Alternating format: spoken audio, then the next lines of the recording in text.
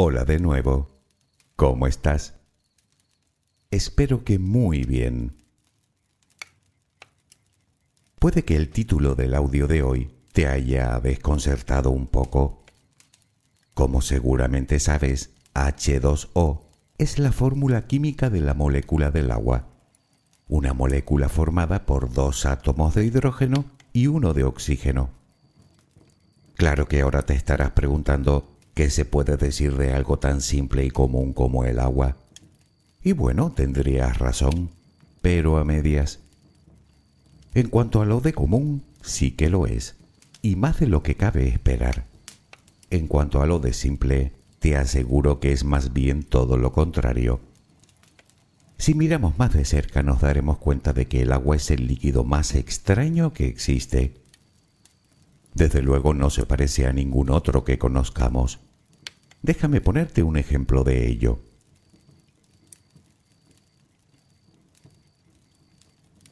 Hace unos días probé a realizar un sencillo experimento.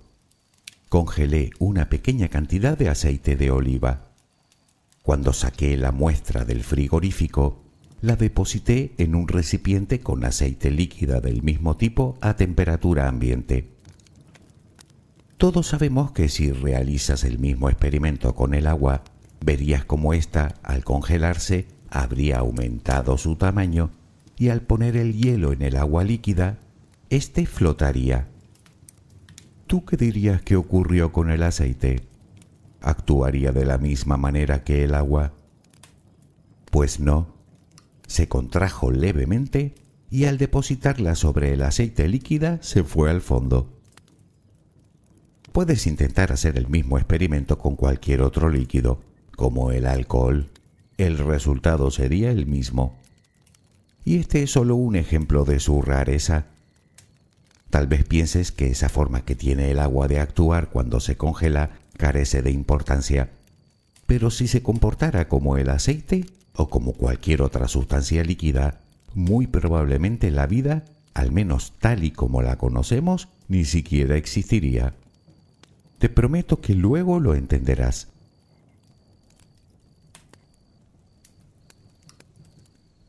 El agua lleva siendo motivo de estudio desde hace más de un siglo y aún así continúa suscitando mucha controversia entre los científicos. Pero, ¿por qué? ¿Por qué es tan diferente al resto de los líquidos que conocemos? ¿Cuáles son sus propiedades químicas? ¿Por qué es tan importante para la vida? ¿Por qué decimos que es tan común? Y por cierto, ¿dónde, cómo y cuándo se creó el agua? Déjame acompañarte mientras concilias el sueño y hablaremos de este, aunque no lo parezca, apasionante tema, el agua. Relajemos primero cuerpo y mente. Busca la posición que te resulte más cómoda para dormir, con la que te sientas más a gusto. Recuerda que siempre puedes colocarte boca arriba, con los brazos a los costados y con las piernas ligeramente separadas. Cierra los ojos si aún no lo has hecho. Intenta que los párpados estén lo más relajados posible. Toma aire profundamente por la nariz. Reténlo un par de segundos y suéltalo lentamente. Lo hacemos otra vez, pero en esta ocasión con la respiración abdominal. Inspira, reténlo, suelta. Nota cómo el abdomen sube y baja mientras que tu pecho permanece inmóvil. Una última vez, inspira, reténlo y suelta.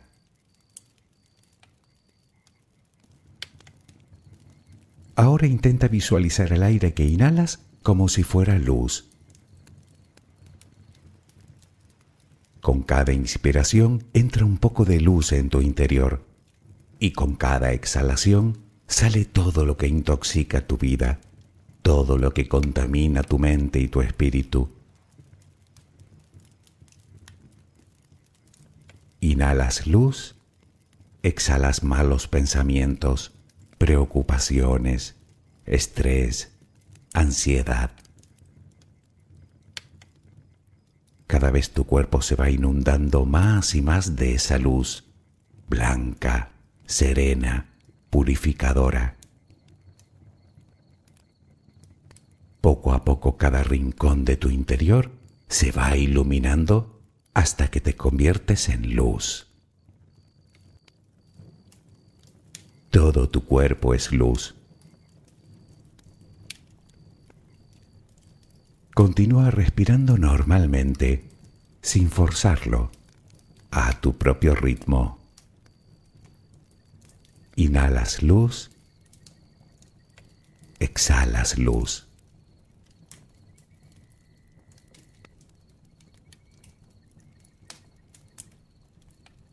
Ahora comenzaremos a relajar todo nuestro cuerpo.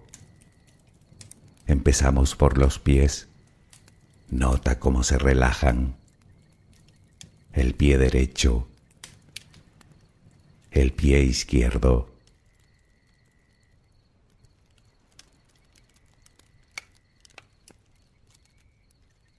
Centra tu atención ahora en las piernas. Siente su peso. Tobillos, pantorrillas, muslos. Nota cómo se relajan. Pierna derecha.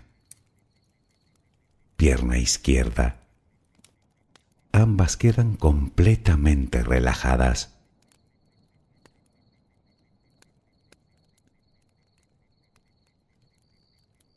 Toma conciencia de tu cadera.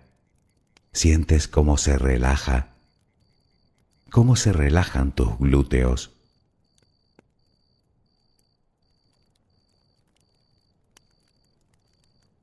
Piensa ahora en tu abdomen que sigue balanceándose con cada respiración. Nota cómo se relaja también.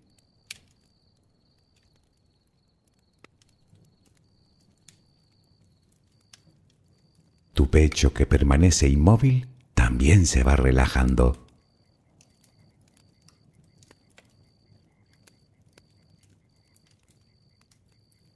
Siente ahora tu espalda. Sientes que cada vez pesa más y más. Desde la cadera hasta el cuello, todos los músculos de la espalda quedan completamente relajados notas como ya no hay tensión en ella.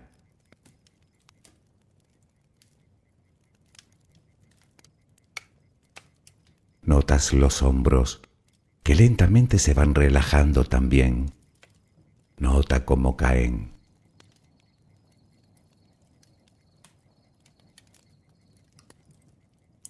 Presta atención ahora a los brazos.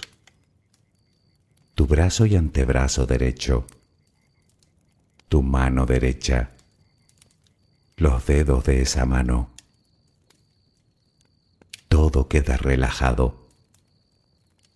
Tu brazo y antebrazo izquierdo, tu mano izquierda, los dedos de esa mano. Notas el peso de ambas extremidades.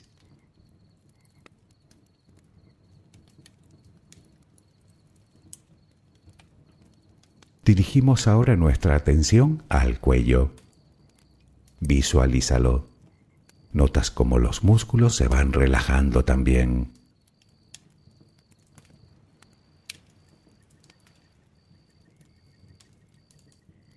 La mandíbula, las mejillas, los labios, la frente, el cuero cabelludo. Todo queda completamente relajado.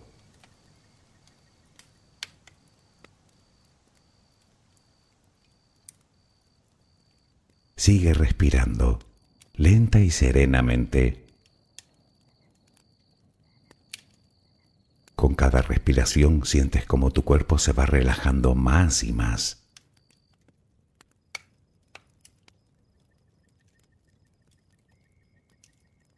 Siente cómo resplandeces de paz, de bondad, de gratitud, de calma, de compasión, de amor.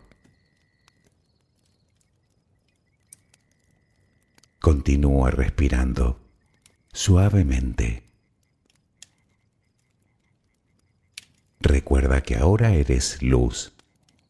Solo respira tranquilamente.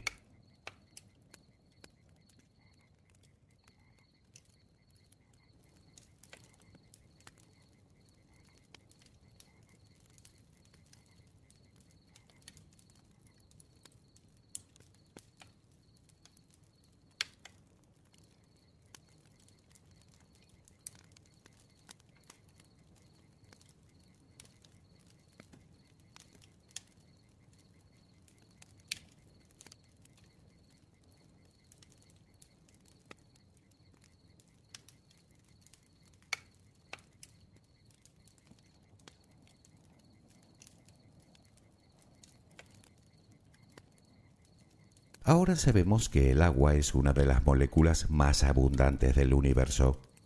Tanto es así que solo en nuestro sistema solar la encontramos casi en todas partes.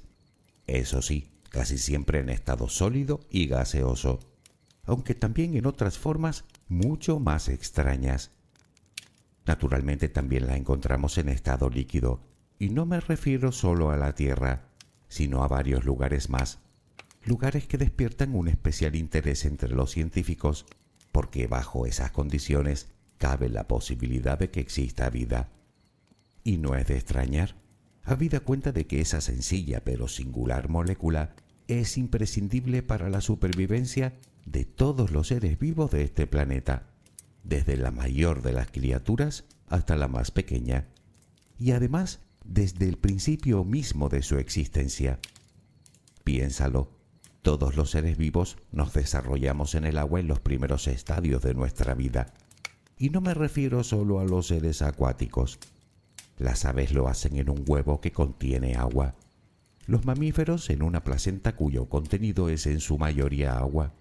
Incluso las semillas de las plantas contienen cierta cantidad de humedad. Sin ir más lejos, nosotros mismos estamos formados en un 70% de media por agua.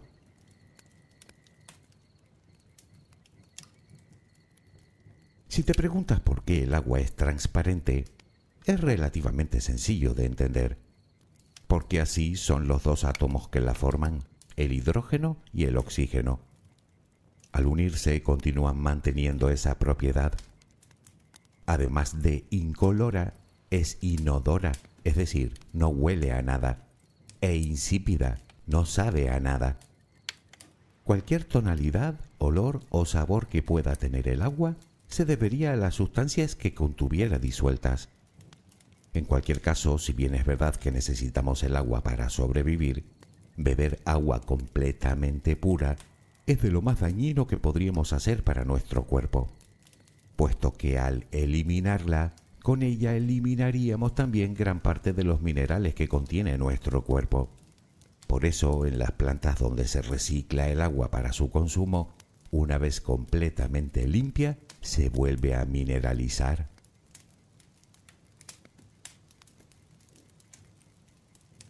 Pero empecemos por el principio.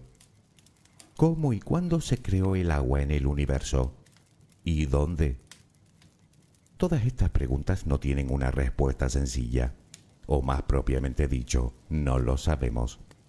Lo que sí está claro es que para que exista agua, antes deben existir los dos componentes que la forman, hidrógeno y oxígeno. El hidrógeno, el átomo más simple de la naturaleza, es producto del Big Bang, es decir, del comienzo mismo del universo, hace unos 13.700 millones de años. El oxígeno, por su parte, es algo más tardío. Todo el oxígeno que existe en el universo, como la gran mayoría de elementos, se formó en las estrellas y fue expulsado al espacio por las supernovas. Existen indicios que hacen pensar que las primeras estrellas se formaron solo unos 100 millones de años después del Big Bang. Unos pocos millones de años más tarde, explotarían produciendo los primeros átomos de oxígeno.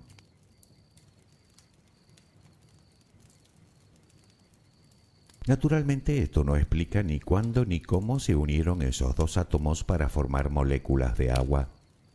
Sin embargo, los astrónomos han detectado agua en criaderos de estrellas, es decir, en regiones donde se acumulan enormes cantidades de gas, que más tarde, por colapso gravitatorio, terminan creando estos enormes cuerpos. De hecho, se ha detectado agua en todas las etapas de la formación de una estrella, desde las nubes protosolares hasta en los núcleos preestelares, es decir, en las estrellas que aún no se han encendido, por así decirlo, y naturalmente en los discos protoplanetarios que más tarde darían lugar a los planetas.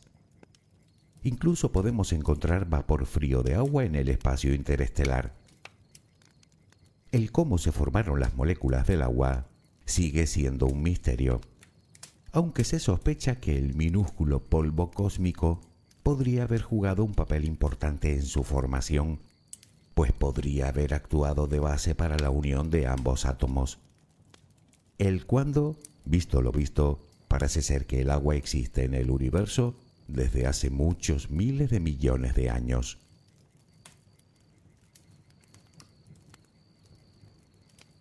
Llegamos pues a la conclusión que el agua ya existía en el disco protosolar que formó nuestra estrella, el Sol, y todos los planetas de nuestro sistema, motivo por el cual podemos encontrar agua en prácticamente todos los lugares de nuestro barrio cósmico. Probablemente terminaríamos antes nombrando los lugares donde no hay. Me refiero a Mercurio y poco más. Y ni siquiera estamos seguros de eso se han hallado algunas manchas brillantes en los cráteres de los polos de este pequeño planeta, a donde nunca llega el calor del Sol, que podrían ser hielo. De resto hemos detectado agua por todas partes, incluido Plutón, o en nuestra Luna, o en Ceres, el planeta enano del cinturón de asteroides, en los anillos de Saturno, y por supuesto en cometas y asteroides, incluso en Venus, Aún con sus altísimas temperaturas, podemos encontrar rastros de vapor de agua en su atmósfera. También existe agua en los gigantes gaseosos, pero es sobre todo en los gigantes helados, Urano y Neptuno, donde el agua adquiere una forma distinta a como nosotros la conocemos. Sometida a muchísimo calor y altísimas presiones, puede que cientos de miles si no millones de veces superior a la que tenemos en la superficie de nuestro planeta, el agua se convierte en algo así como en hielo negro y cristalino, formando un amasijo de átomos de hidrógeno y oxígeno superionizados que se comporta como un metal conduciendo la electricidad y que los astrónomos han logrado medir como un fuerte campo magnético que rodea al planeta.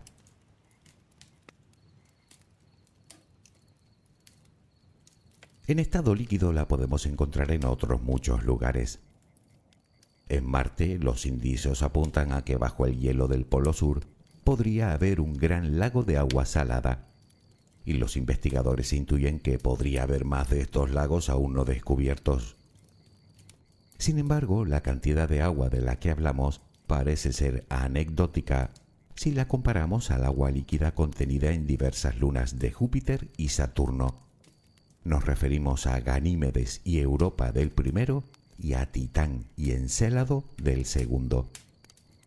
Según diversos estudios e investigaciones, estos satélites podrían contener auténticos océanos globales de agua líquida bajo la corteza rodeando el núcleo. De hecho, se cree que cada uno de ellos podría encerrar más agua que toda la contenida en la Tierra. Y más interesante aún, Gracias a la sonda Cassini sabemos que en Encélado ese océano interior es de agua salada y que contiene gran cantidad de moléculas orgánicas, lo que lo convierte en el principal candidato a albergar vida. Tal vez deberíamos dedicar un audio entero a hablar de estas lunas. Creo que lo haremos.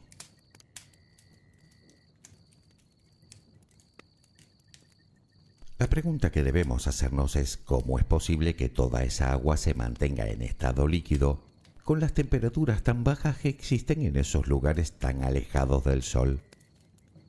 Bueno, existen varios motivos. El más obvio son las enormes mareas gravitatorias de los planetas alrededor de los cuales orbitan. Estos hacen que el núcleo de las lunas se deforme y se caliente y en consecuencia que el agua se licúe. Otro motivo es la presión. A muy alta presión, el agua se derrite por un proceso que se denomina regelación. Y otro es la salinidad. Todos sabemos que el agua se congela a 0 grados centígrados. Sin embargo, dependiendo de la cantidad de sales que contenga, esa temperatura puede bajar a decenas de grados bajo cero. Por ejemplo, la superficie del mar se congela a menos 2 grados, pero el agua del mar muerto, con una salinidad mucho mayor, a menos 21.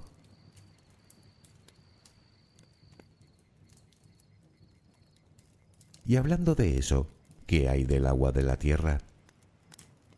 Nuestro planeta es el único del sistema solar en el que podemos encontrar agua en sus tres estados principales, sólido, líquido y gaseoso.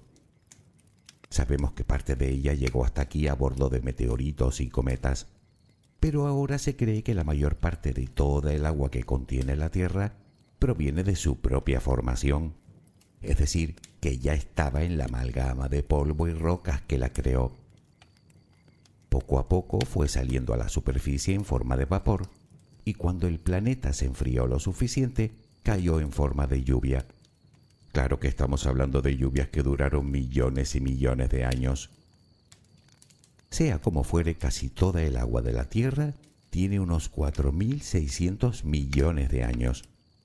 Sí, ese vaso que te bebiste esta mañana, o esa que empleaste en darte una ducha, o esa con la que riegas tus plantas, también.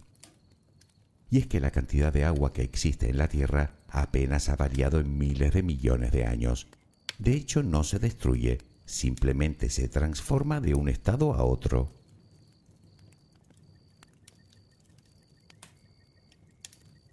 Como te decía al principio, el agua es un líquido que no se comporta como el resto de fluidos. Y te puse un claro ejemplo de ello comparando el agua con el aceite. Por norma general, los sólidos son más densos y pesados que los líquidos, pero con el agua no sucede lo mismo. En el caso del agua, cuando está en forma de hielo, pesa un 9% menos que cuando está en estado líquido.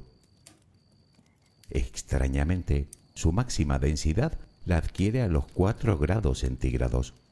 Justo por debajo de esa temperatura comienza a dilatarse. Puede que no te parezca relevante, pero sí que lo es. Imagina que cuando los mares se congelan, todo ese hielo fuera al fondo con el fondo congelado la vida marina no existiría y en consecuencia en la Tierra tampoco.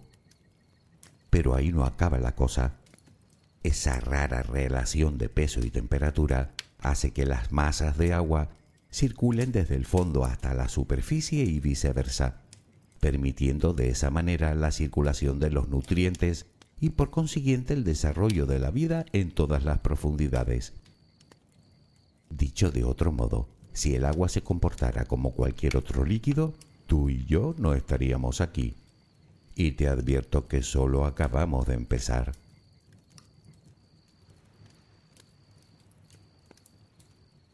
Toda la comunidad científica coincide en que esa rareza de la que hace gala se debe a su estructura molecular y a cómo se enlazan las distintas moléculas entre sí, lo cual parece tener profundas implicaciones. No obstante, y aunque no lo parezca, no es nada fácil de estudiar, pues cuando el agua permanece en estado líquido, sus moléculas cambian de posición a una velocidad inimaginable. Hablamos de que lo hace en menos de una trillonésima de segundo, por lo que intentar observar la disposición de las moléculas en un momento determinado se convierte en una tarea extremadamente complicada.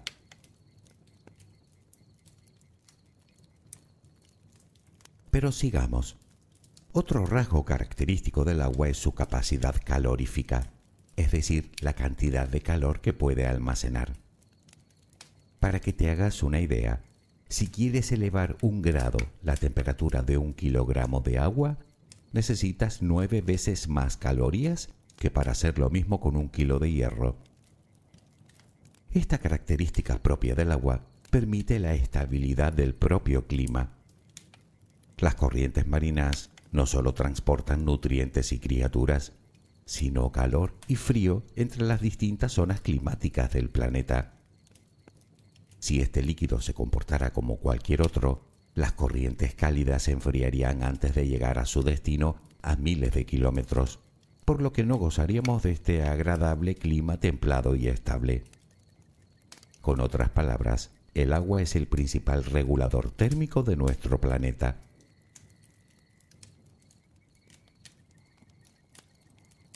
Algo que también caracteriza al agua es la llamada tensión superficial.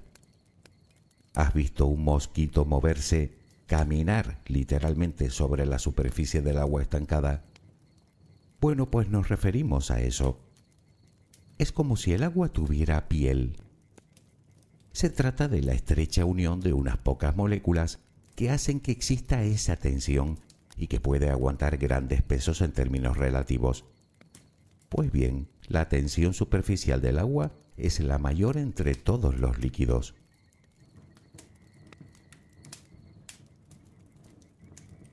Otra propiedad del agua relacionada precisamente con la anterior es lo que llaman fuerzas capilares. Puedes hacer un sencillo experimento que lo demuestra. Pones agua en un vaso y metes en ella un pequeño tubo transparente. Puede servirte una de esas pajitas que usamos para absorber una bebida.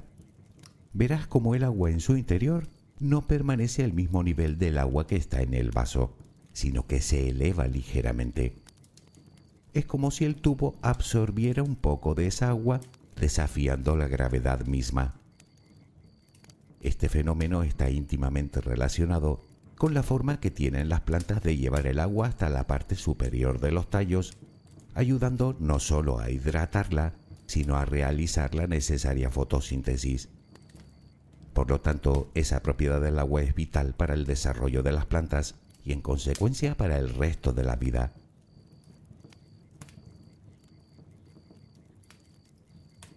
El agua además tiene otra propiedad que la hace imprescindible para cualquier forma de vida conocida. Se trata de su poder de disolución. Resulta que el agua es capaz de disolver más sustancias que cualquier otro líquido. De ahí que la llamen el disolvente universal. Esta circunstancia implica varios aspectos de suma importancia. Por un lado, hace que en ella puedan darse las complejas reacciones químicas propias de todos los seres vivos, desde una humilde bacteria hasta una ballena jorobada. Y por otro, permite el transporte de todo tipo de minerales y nutrientes, necesario no solo para los cuerpos mismos de los seres vivos, sino en la propia naturaleza, en el mar, en los ríos, etc.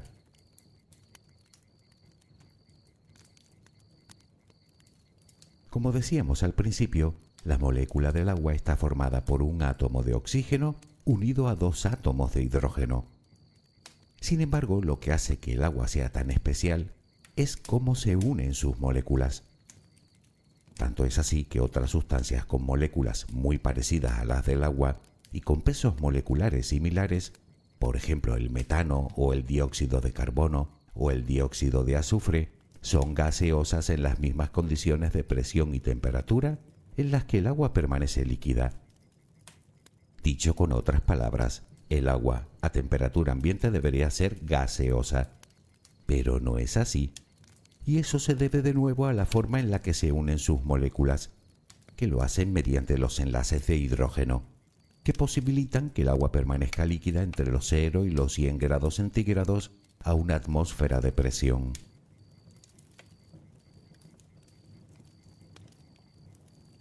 Las moléculas de agua pueden adoptar múltiples apariencias dependiendo de las condiciones y situaciones a las que sean sometidas. Por ejemplo, los copos de nieve son todos diferentes y su forma depende de la temperatura y de la humedad. Sin embargo, todos ellos tienen seis brazos, es decir, que tienen una simetría sextuple en su estructura cristalina. Cuando hablamos de hielo, ¿te has preguntado alguna vez por qué es tan resbaladizo? ¿Por qué podemos patinar sobre él sin ruedas? En un principio se pensaba que esa característica era producida por un fenómeno al que llaman fusión por presión. Es decir, que la presión hace que el hielo se licúe. Pero si fuera así, los objetos más pesados derretirían más hielo, y no es algo que se observe. Luego se pensó en el propio rozamiento, pero eso no explica cómo es posible que estando quietos siga resbalando. Los científicos tuvieron que buscar otra explicación y han descubierto algo asombroso.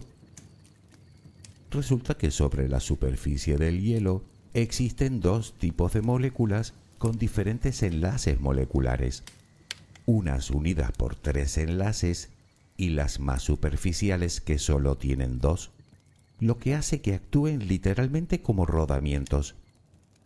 Esencialmente se mueven con lo que hay sobre el hielo y por eso resbala tanto.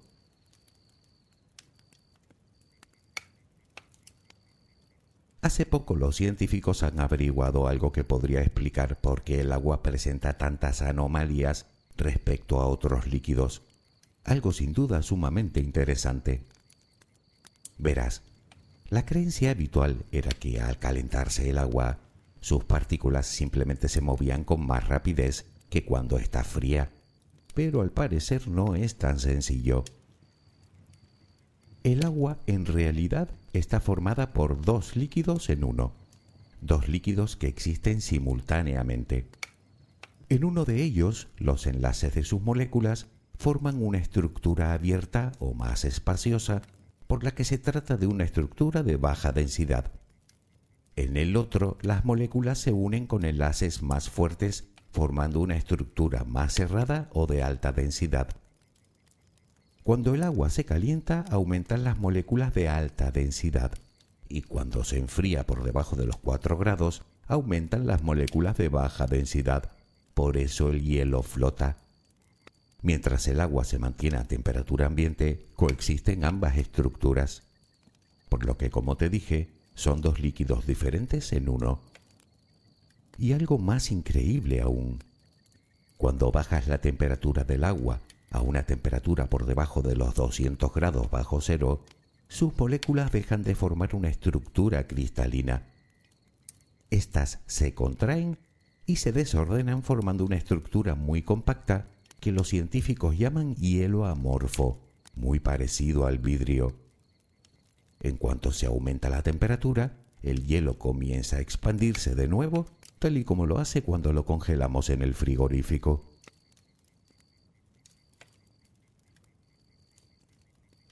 Tal vez la pregunta más importante que cabe hacerse es, ¿tienen algo que ver estas propiedades tan inusuales del agua con los procesos mismos de la vida?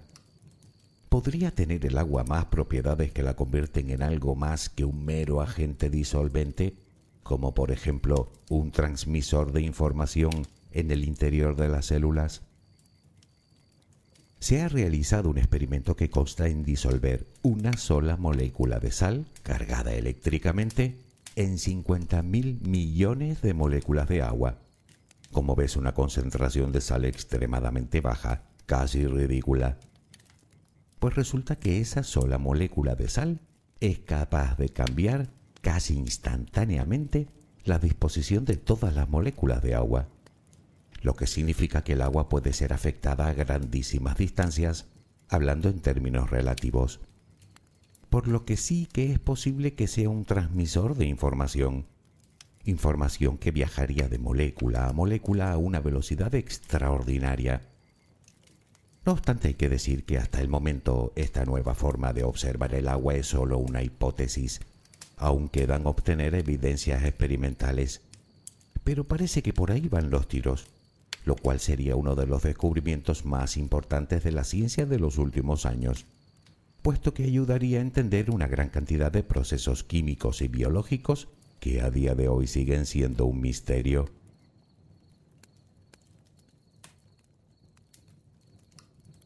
Como ves, el agua puede ser un material muy común, pero de simple no tiene nada.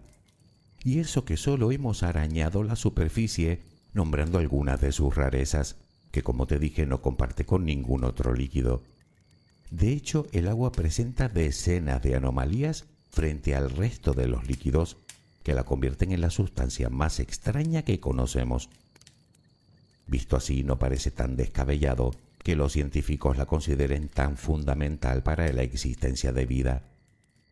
Es como si el universo la hubiera diseñado exactamente con ese fin. Te invito a que reflexiones sobre ello la próxima vez que te vayas a beber un vaso de agua, o que le pongas un hielo a tu bebida, o que te vayas a dar una ducha, o la próxima vez que navegues por el mar, por un río o por un lago, o la próxima vez que patines sobre el hielo, o que veas la nieve, o un árbol, o la próxima vez que te mires al espejo. Interesante, ¿verdad? Bueno, al menos a mí me lo parece. Interesante, intrigante y absolutamente maravilloso. ¿A ti no? Espero que mañana tengas una maravillosa jornada. Que descanses. Buenas noches.